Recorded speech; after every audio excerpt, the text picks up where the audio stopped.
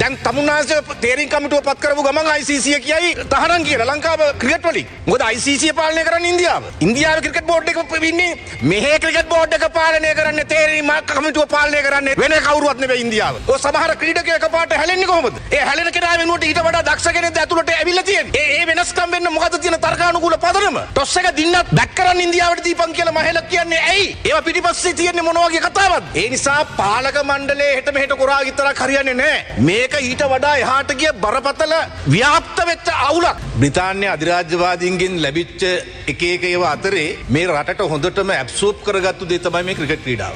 ඒක අපේ ලේවල උරුමයක් බවට පත්වෙච්ච දෙයක් වර්තමානය වන විට. பிரித்தானியரிடமிருந்து நாங்கள் பெற்றுக்கொண்ட படிப்பினைகளில் நன்றாக ஈர்த்து கொண்ட விடயமே இந்த கிரிக்கெட் விளையாட்டாகும் கிரிக்கெட் விளையாட்டில் வெற்றி தோல்விகளை கருத்தில் கொண்டு அந்தந்த நாடுகளின் ரசிகர்கள் அதற்கான விளைவினை தோற்றுவிப்பார்கள் சிலர் கிரிக்கெட் வீரர்களின் வீடுகளுக்கு தீ வைப்பார்கள் ஆனால் எமது நாட்டில் அவ்வாறில்லை எமது ரசிகர்களின் இவ்வாறான குணங்களை சிலர் லாப நோக்கத்திற்காக பயன்படுத்துகின்றனர். சர்வதேச கிரிக்கெட் பேரவையானது தற்பொழுது இந்தியாவின் சொத்தாக மாறிவிட்டது. இறுதி சுற்று அந்நாட்டு பிரதமர் மோடியின் பிறந்த நாளன்று திட்டமிடப்பட்டுள்ளது. தேர்வு குழுவையும் தற்போது விமர்சிக்க வேண்டிய நிலை காணப்படுகின்றது. அதில்தான் பாரிய பிரச்சனைகள் காணப்படுகின்றன. இந்தியாவுடனான போட்டியின் போது நாணய சுழற்சியில் வென்றது இலங்கை அணி. நாணய சுழற்சியில் வென்றாலும் துடுப்பெடுத்தாடாது களத்தடுப்பை தெரிவு செய்யுமாறு வலியுறுத்தியது மகேல ஜெயவர்தனவே ஆகும். நாணய சுழற்சியில் நாங்கள் வென்றிருந்தாலும் முதலில் துடுப்பெடுத்த அளவை திட்டமிட்டிருந்ததாக இந்திய அணியின் தலைவர் செபுயில் குறிப்பிட்டிருந்தார். அது மாத்திரமின்றி இலங்கை அணியின் தீர்மானம் தொடர்பில் வியப்படைவதாகவும் அவர் குறிப்பிட்டிருந்தார். இதுபோன்ற தீர்மானங்களின் பின்னணியில் என்ன காணப்படுகின்றது? இந்தியாவின் கிரிக்கெட் தேர்வு குழுவையும் இலங்கையின் கிரிக்கெட் தேர்வு குழுவினையும் கட்டுப்படுத்துவது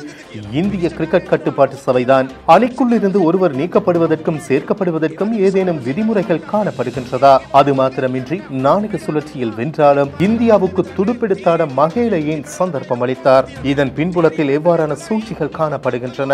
ஆகையினால் கட்டுப்பாட்டு சபையினை அங்குமிங்கும் நகர்த்துவது அர்த்தமில்லை. அதற்கு அப்பால் காணப்படுகின்ற விரிவான குழப்பமாகும். சாதனை படைத்த இந்திய வீரர் கொஹ்லி மூன்று பெயர்களை தெரிவித்திருந்தார்.